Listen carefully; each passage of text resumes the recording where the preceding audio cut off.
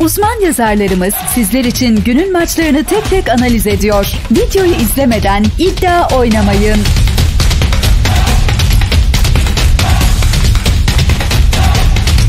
Fransa Lig 1'de haftanın açılış maçında PSG ile Nice karşı karşıya geliyor. Ligin son şampiyonu ve dev ekibi ev sahibi PSG, ligin kaliteli ekiplerinden Nice'yi ağırlıyor.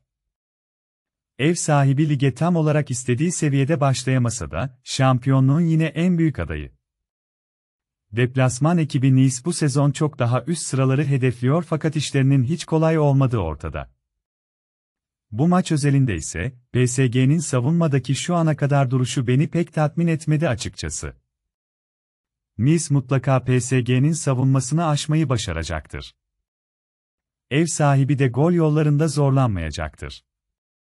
Keyifli ve bol gollü bir maç bekliyorum. Vems, tahmin 2.5 üst oran 1.41. Maçla ilgili senin de yorumun varsa yorumlarda sen de paylaş. Videomuzu beğenip kanalımıza abone olmayı unutmayınız.